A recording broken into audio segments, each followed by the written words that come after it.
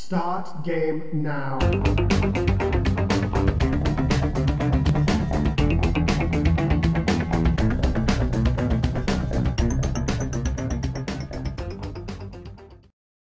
Welcome, retro fans. The Michael Jordan Pog is back because we're doing another sports game today, and that is ice hockey for the Nintendo Entertainment System. And I dig the blue in the label art, but judging by this dude right here, he must be, well, one of the loneliest hockey players on earth who's forced to skate by himself at the rink after hours when the lights are out. Yep, looks like he could use some friends to play with.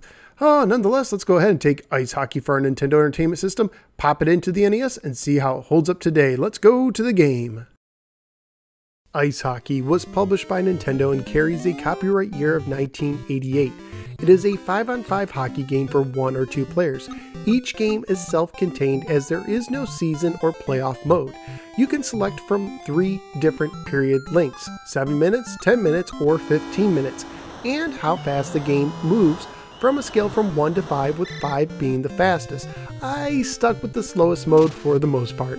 There are also six nation based teams you can choose from, like USA, Sweden, Poland, Canada, the Soviet Union, and Czechoslovakia. Sadly, you cannot pick the Jamaican team.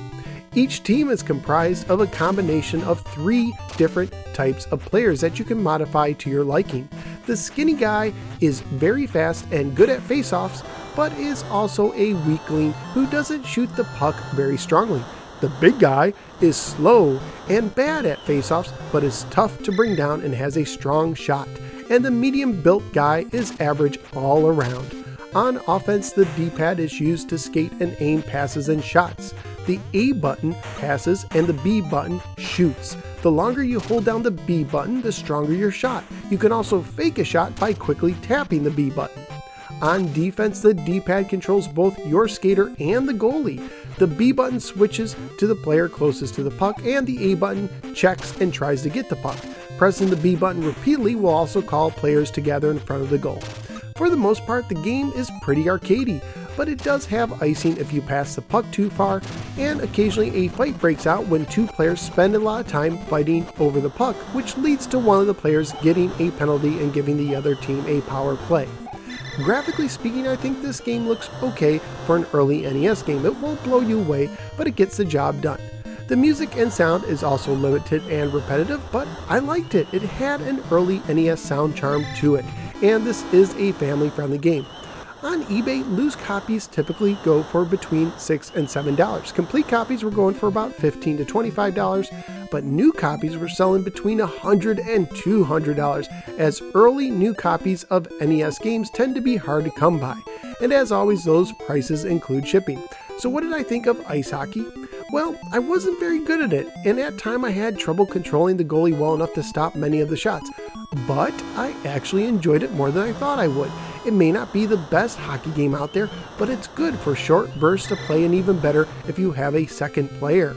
So where am I going to rank ice hockey? Well, let's see.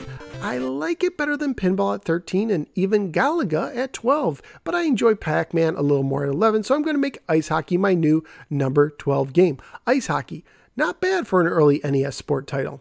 If you enjoy retro related videos, would you please click the like and subscribe buttons? Also be sure to check out some of my many other videos covering Atari, Sega, Nintendo, and more. With over 150 videos now posted, there's sure to be something for just about any retro fan. Thank you guys for giving me a little part of your day, and I look forward to seeing you next time on the next episode of The No Swear Gamer. Take care and keep your stick on the ice.